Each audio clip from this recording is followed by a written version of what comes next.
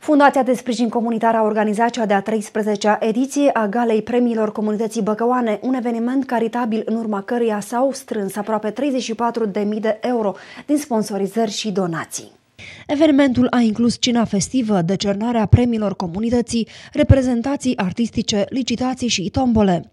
La final, organizatorii au tras linie, au contabilizat suma de 33.858 de euro, dintre care 26.500 de euro din partea sponsorilor evenimentului și 7.358 de euro din donațiile individuale și sponsorizări. Anfitrionul evenimentului a fost Gianina Corondan. Când vorbim de dragoste, muzica vine de la sine. Așa că dragoste va fi în această seară pentru noi toți în forme diverse, chiar și în formă de stea. Hey, hey, și acum cred așa, dragostea e un biscuit în formă de stea.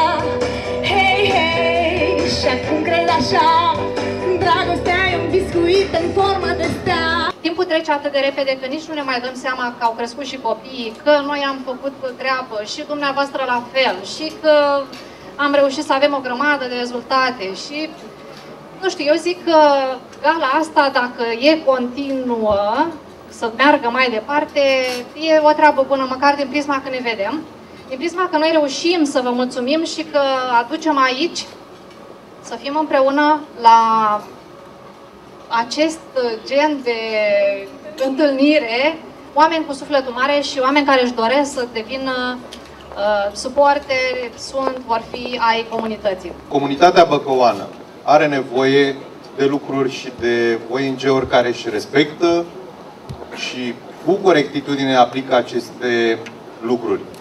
Nu consider că este momentul ca toate aceste acțiuni caritabile să încheie aici.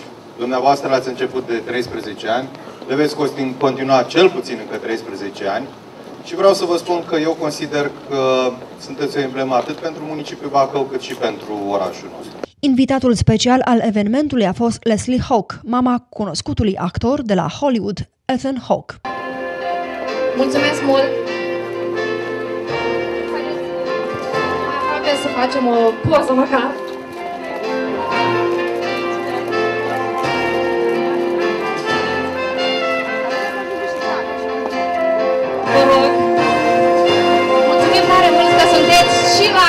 11-a ediție prezent la eveniment.